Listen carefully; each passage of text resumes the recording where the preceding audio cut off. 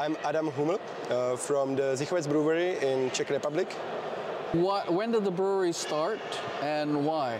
So uh, we're now in the second brewery we built. Uh, we started uh, 2012 in a village called Zichovec, but like after four years, it's become too frequent. We've become too big for a village, so we've moved to Louny, which is like a regional city in the northern part of Czech Republic, and there we are till now. Uh, we moved there 2016 approximately, and that's where we're based now. What kind of beer style, what's the philosophy behind the brewery? So we, we're so our uh, our brewing uh, philosophy is very wide. Uh, so we basically brew everything uh, from uh, uh, lagers, a lot of lagers, uh, to American pale ales, IPAs, a lot of New England IPAs, sours, fruit sours, pastry sours, stouts, pastry stouts, imperial stouts, wild beer, we've done one cider and we've done one wine. So uh, we're just trying what we can handle. We're lucky because we have quite a lot of people already. So there's uh, no need to specialize because there's a lot of people who knows a lot of things. What's, how much production do you do a year in beer? So the 2021 we've done uh, 9,000 hectoliters. We've been growing steadily over the last five years uh, for like 10, 20% yearly. So we expect like this year or the next year we, we'll reach the 10,000 hectoliters yearly, which is the limit for a small brewery in Czech Republic. So we expect very soon we'll become a mid-sized brewery. But we believe like uh, it's not hard to stay craft if you stay true to what you do. What's the acceptance of your beers in the Czech Republic? Of course, we've all known it's pills and lagers. Has there been a development of taste over the time? Uh, have you seen uh, acceptance? Absolutely. So we've actually been the first uh, brewery in Czech Republic to core core a New England IPA, to core a New England IPA, and we've been the first brewery to core a sour a beer. So we have a passion fruit sour that's uh, available all year round for five years now, I think, four or five years. And we have a nectar of happiness uh, that's been available as a New IPA all year round for four to five years also.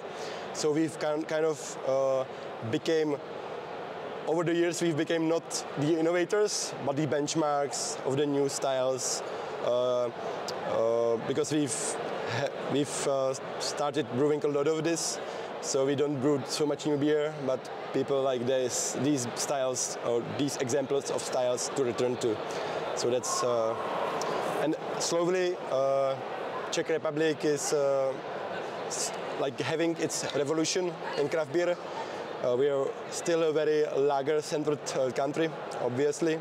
It's very hard to compete with a big uh, production that's high quality. I think that's a very rare uh, in Europe, a big production that's high quality.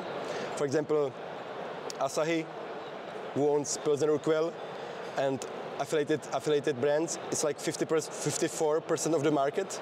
And if you had Pilsner Urquell, you know it's like, it's incredible how good it is in the, in the amount.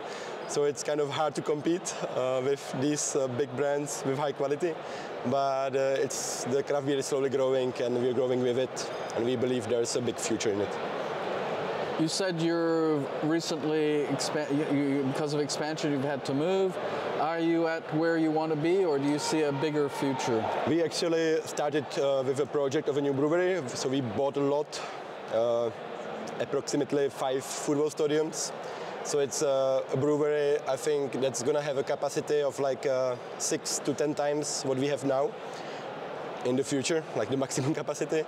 Uh, we are like uh, our our our uh, our uh, our idols are like the mid-sized American breweries like Trillium, Treehouse, whatever, you know, like the 60,000 hectoliter breweries that still go, do good shit.